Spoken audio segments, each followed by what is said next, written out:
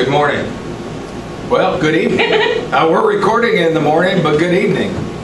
Uh, supposedly it's Thursday evening at 6.30 by the time you're seeing this. Welcome to session three of our Bible study, No Greater Love, a biblical walk through Christ's passion. If you were with us the first two sessions, well, this is going to be a little different. I wish I had you here with me in room three, but um, we'll look forward to doing this again live after this is all over with. So, in the meantime, welcome to our virtual study. Uh, we'll begin as we usually do with a prayer. So, in the name of the Father, and Son, and Holy Spirit, amen. Thank you, Lord, for the opportunity to study your word and to learn from you through your word. Give us insight and wisdom, the knowledge we need to change our lives because of what we learn. Lord, we know this is a difficult time, trying time, that we're closed up in our homes and, and away from our friends and family members.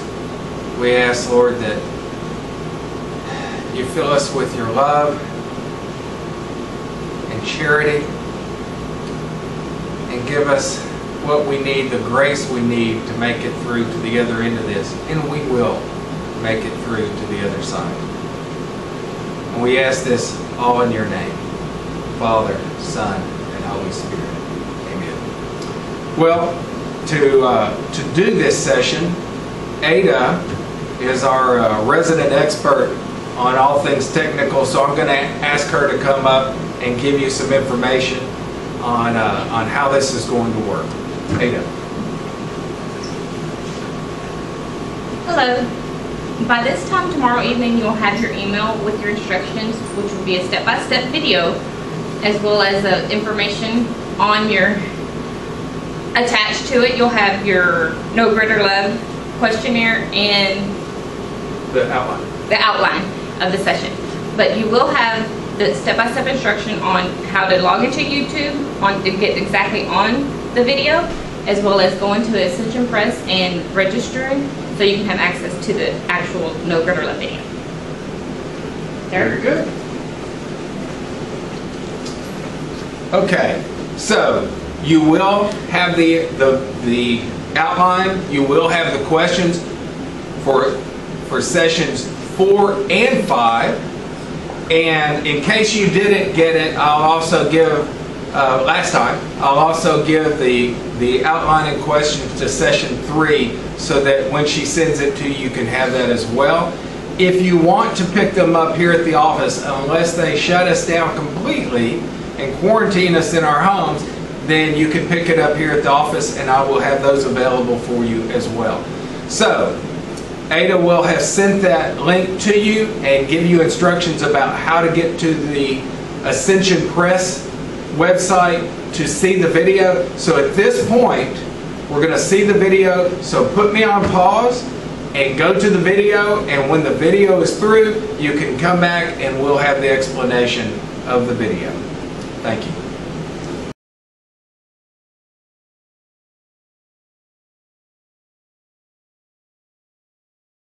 Okay, we're back. Hope you enjoyed the video. Um, session three, the trial before Pilate. Jesus is condemned to, to death. This is chapters 10, 11, and 12. And since I don't have you here in front of me, uh, I'm going to go through the outline. I don't usually cover the entire outline, but I'm going to cover it just briefly and then talk at length uh, in greater detail about some of the, uh, and highlight some of the outline. So, um, let's begin with number one. Jesus is led before Pilate, the Roman governor of Judea. So, why go to the Roman authorities if the Jewish authorities have already decided that Jesus is guilty? Why did the Jews have to go to the Romans? I mean, they, they've decided Jesus is guilty, let's put him to death. Well, it's because the Jews weren't allowed to put anyone to death. That's a civil uh, duty. That's the, the Roman government could do that, but not the Jews. Remember, the Jews are subjugated to the Romans. So they had to go to the Roman authorities to have a capital punishment. All right. Then he is led bound, and a large number of the Jewish Sanhedrin, the, the Jewish leaders, bring Jesus to, to Pilate. And uh, they accuse him. And the reason there's such a large number and there's, there's such a crowd, they want to make sure that the Roman authorities think that Jesus is dangerous, that he's a criminal, that he has to be put to death. All right? And so they begin to accuse him to Pilate and say he's, he's guilty of perverting our nation. In other words, uh, of leading them away from their loyalty to Rome that he's guilty of forbidding us to give tribute to Caesar to pay taxes. And of course, that's a blatant lie. Jesus didn't say not to pay taxes. What did he say? Give to Caesar what is Caesar's, give to God what is God's. He didn't forbid them to pay taxes. He told them, give the, give the taxes to Caesar. The coins belong to Caesar. And they say that Jesus said he is a king. He's, he's the Christ, a king. And of course, this would pose a problem. In other words, they, he would be saying that he was a king and could be uh, someone that would be there to overthrow Roman rule. And of course, this would be a big problem for Pilate. But notice that Pilate sees through this whole charade. He sees that this is really about the Jewish leaders being jealous of Jesus because Jesus had a great following of the people. Matthew 27 18 says, It was out of envy that they delivered him up. So Pilate was used to dealing with these revolutionaries. Someone actually like Judas, who was a, a revolutionary, and that Jesus took in. Remember, uh, Judas was a zealot. And so he's used to seeing these revolutionaries. He realizes Jesus is not one of these people. So it has to be out of jealousy that the Roman, that the Jewish leaders are bringing them, uh, bringing him before Pilate. Pilate has to be careful though because this this idea that Jesus could be a king, a rival leader, that could be a big problem for Rome, which means a big problem for Pilate. So what does he say? The very next question after this, he turns to Jesus and he says, "So, are you the king of the Jews?" He wants to know, are you really a king? And what does Jesus say? You have said so. So it's kind of a, qualitative, a qualitative or a qualified affirmative. He's saying, yes, but not the way you think. All right? What does he, he tells Pilate, my kingship is not of this world. So Pilate says, I find no crime in him. There's, there's nothing he's guilty of nothing that's not uh, a, a Jewish or religious problem. He's not concerned about the religious problems. He's only concerned about civil problems. He sees no problem with Jesus. He's not a revolutionary. He's not a criminal. If there's some kind of a dispute, there's a religious dis dispute, he tells the Jews, you handle it. That's not concerning me. But when Pilate hears that Jesus is a Galilean, he's from Galilee, so he sends him to Herod, who happens to be in the area, in the city, at that time. Remember, this is Passover. And so you have lots of people in Jerusalem at this time. And so he sends him to, um, to Herod so he can deal with him. Be done with it. So, who was Herod? He was known as Herod Antipas. He was a tetrarch or a ruler of that part of his father's, Herod the Great's, kingdom. And so uh, Herod Antipas was a ruler over actually one-fourth of Herod the Great's kingdom. Now, he's the same Herod who had John the Baptist killed. So that will give you an idea of where we are. So Jesus goes before Herod, and Herod had been hearing about Jesus, and he actually, it says he longed to see Jesus. He wanted to, he's heard all about this guy who, who uh, performs all these miracles, these great signs. And so what does he do? He asks Jesus, uh, do something for me. He wants him to perform. So he wants he wants to see a sign. He wants to see a miracle.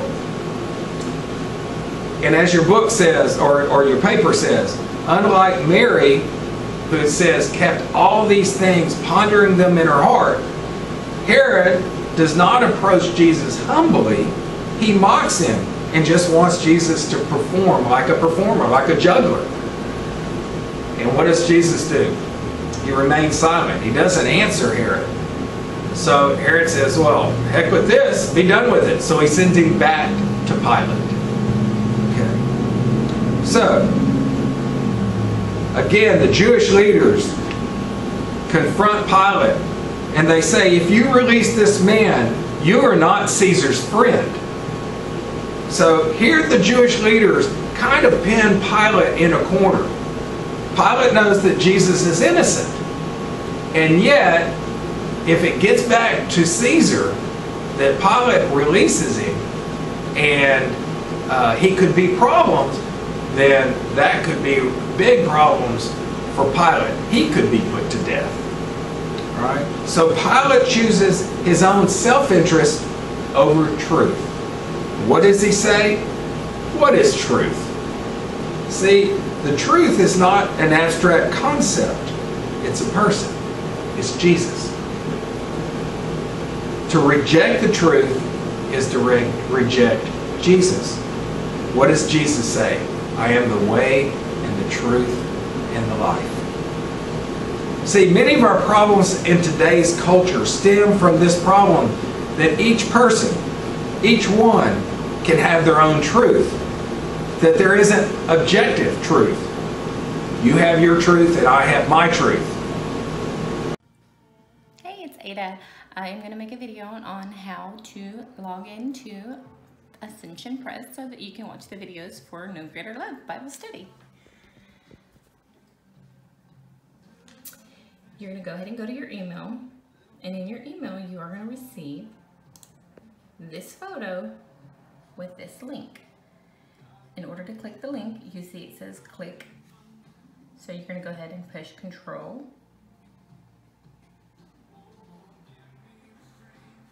You're going to push control and click. It is going to open up a new window for you.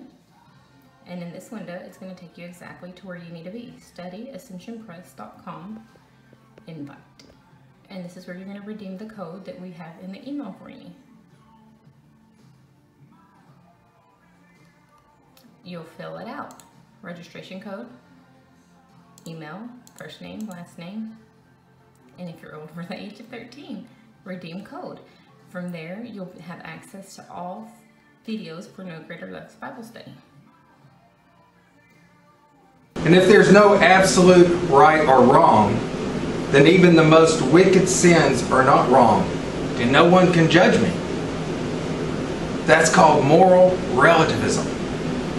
And it's why we have people who actually think it's okay to kill babies or even after they're born, or sell their body parts.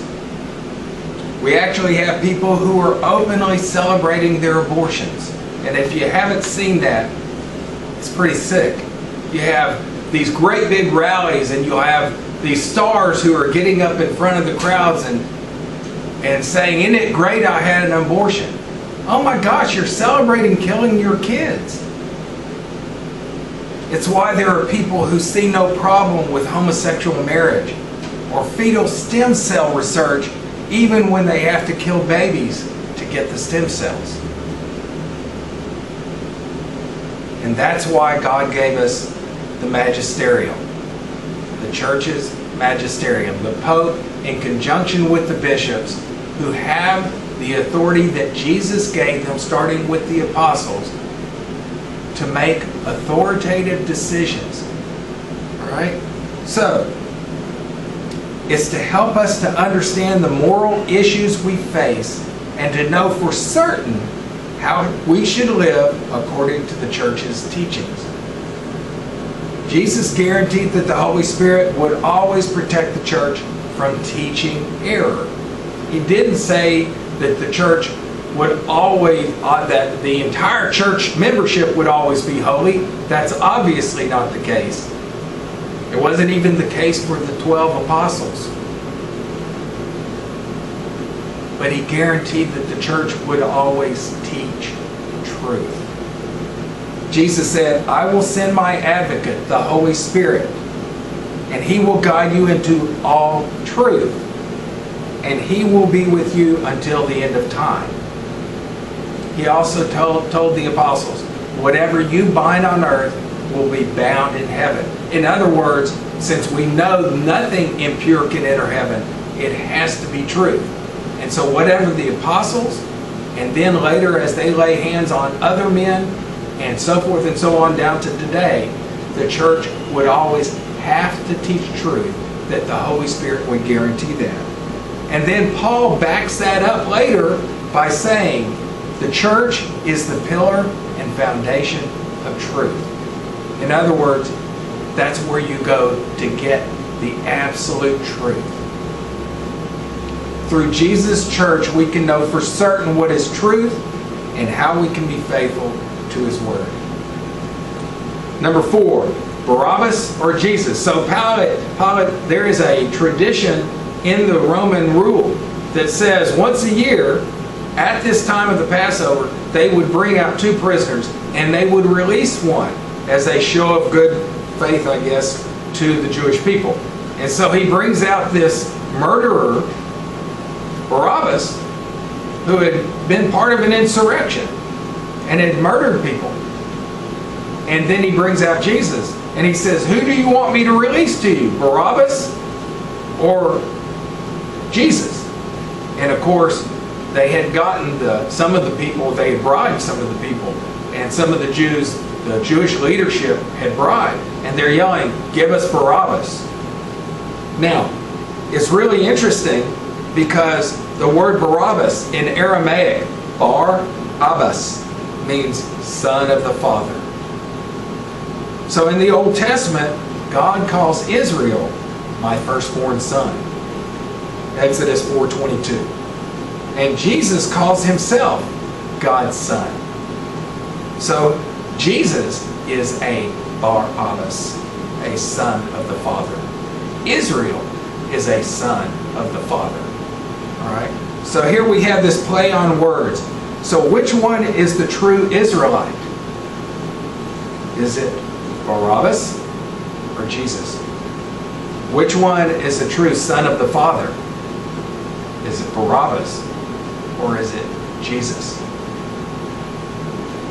Which one calls the Romans to uh, with insurrection and murder, and which one is saying to love and forgive your enemies? See, it's Jesus is the true Son of the Father, the true Israelite. Number five, Jesus is scourged. John 19, 1. See, in Jewish law, lashes to be to be uh, beaten with a whip, the lashes were limited to 40. Oh, same thing. Uh, okay. How far, do you know? We'll Just when you-. Okay, let me, let me go get, uh. Okay. get-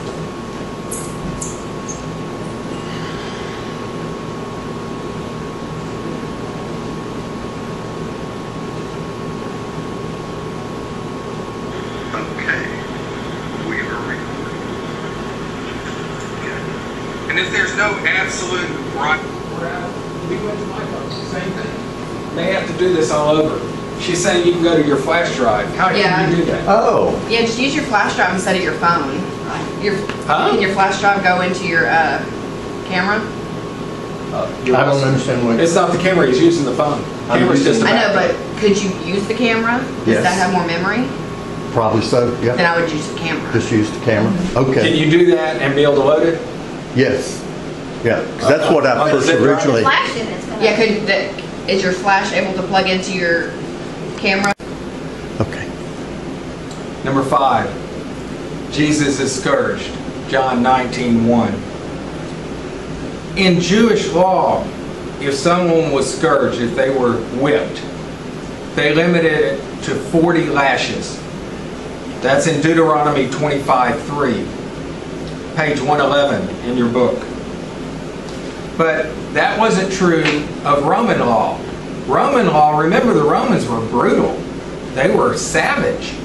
So there was no limit to how many lashes someone could get. The idea was to beat them so severely they could even die. All right, so Jesus faced a Roman scourging, which meant it was meant to maim or kill the person. That's why he only lasted six hours on the cross, when most people lasted days. He was almost dead from the scourging before he was ever nailed to the cross. Number six, the crowning with thorns, John 19, 2. The soldiers mockingly kneel before Jesus. The, the irony is that all creation will bow before Jesus at the end of time.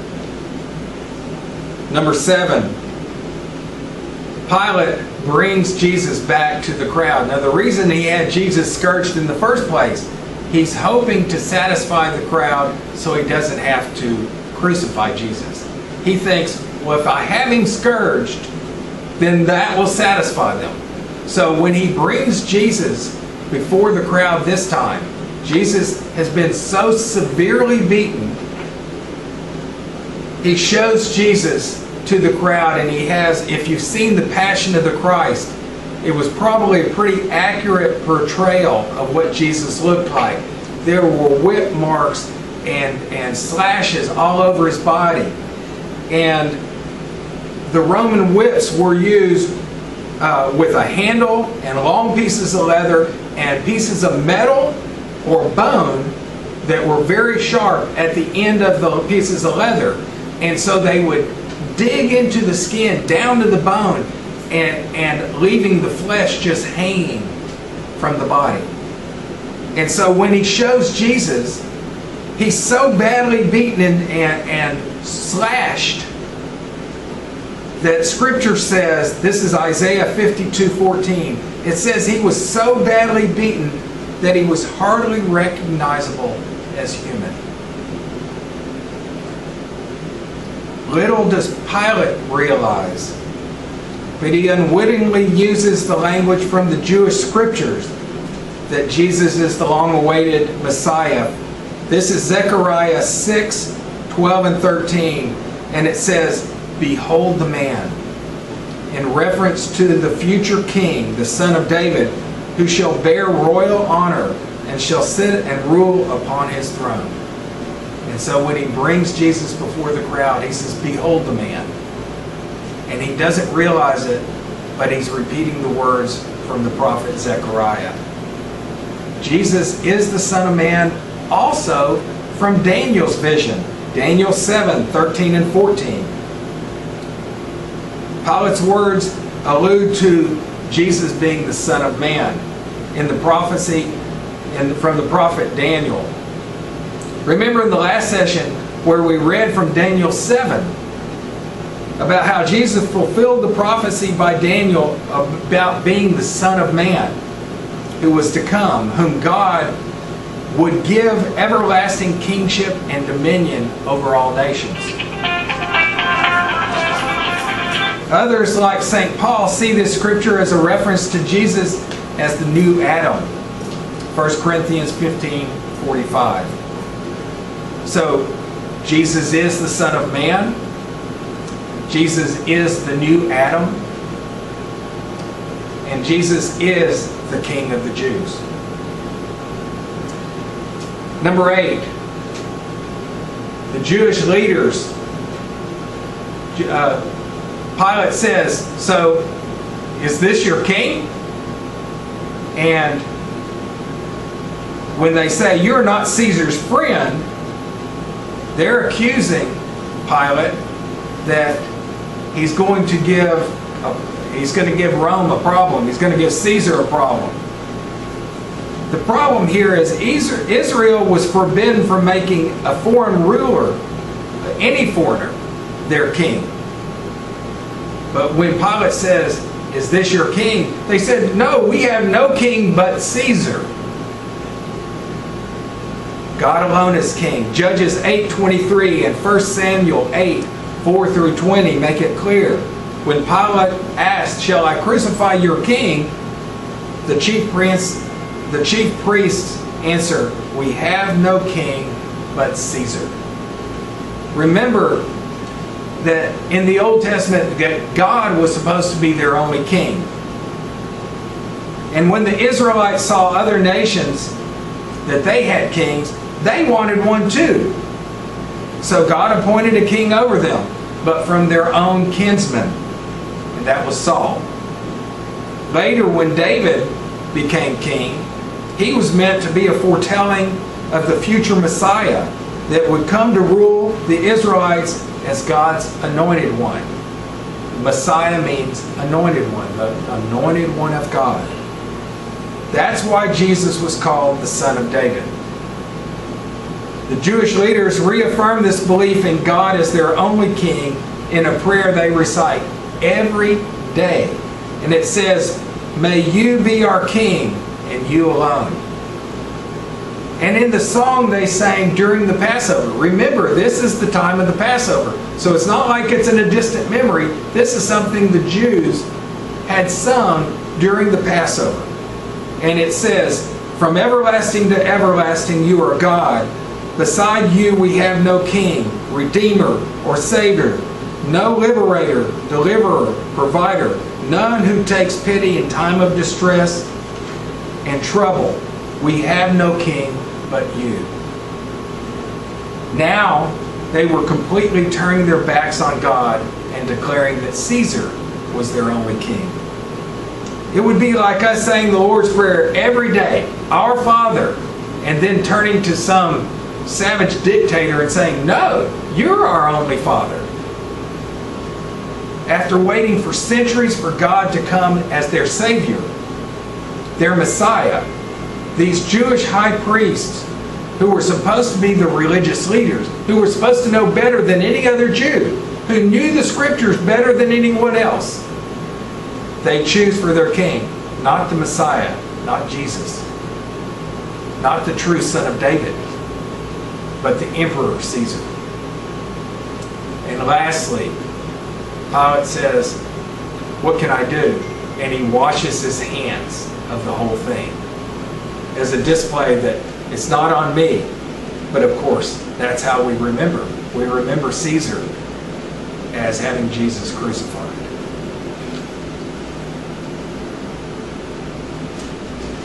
So that's our outline. I want to go through the um, the questions with you just briefly. Hopefully, you have the questions with you. Ada is sending them to you uh, online, or if you want to pick them up here at the office, we'll have a copy available to you as long as we are still allowed to be here.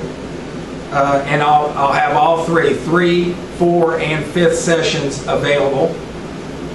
And you'll continue to be able to get the videos from Ascension Press. But let's go to uh, the questions. From chapter 10, because Pilate does not believe in objective truth, he does not have a moral standard outside of himself to guide him. He's left with only his own truth, the need to protect his own reputation and career. So he sends an innocent man off to be crucified. The question is, what are to, what are some of the relative what are some of the ways relativism leads to innocent people being hurt in our own culture today? When there is no objective right or wrong, what in today's culture causes trouble or problems or uh, people to be hurt because of it? Chapter 11, following Jesus' teaching and example, what are some of the most important things we should do to extend Christ's kingdom in our workplace, in our parish, or ministry, or in our families? Chapter 12 Pilate was a coward on Good Friday. He was afraid of what people would say about him, so he sent Jesus to be crucified. In what ways might Christians be afraid of what others think of them today? how might that fear hinder them from living their faith more fully? And how might it keep them from standing up for their faith? These are all good questions that require a lot of thought, maybe prayer. And I hope these are questions that will help you in your faith.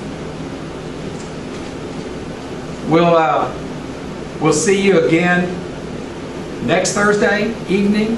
Again, same time and place. And uh, God bless you. If you have any problems, if you have any questions, please call. Um, if you have any needs aside from the study, please call the parish office. The priests are still available uh, on an appointment basis only for confessions. And uh, keep reading scripture, keep praying the rosary, keep tuning into the Mass we're having on Facebook, live streaming every morning at 8.30 and on the weekend as well. Uh, and um, tune into Facebook, tune, turn into YouTube, and um, God bless you. Let's finish with a prayer in the name of the Father, and Son, and Holy Spirit. Amen. Our Father, who art in heaven, hallowed be thy name. Thy kingdom come, thy will be done, on earth as it is in heaven. Give us this day our daily bread, and forgive us our trespasses, as we forgive those who trespass against us, and lead us not into temptation, but deliver us from evil. Amen. God bless.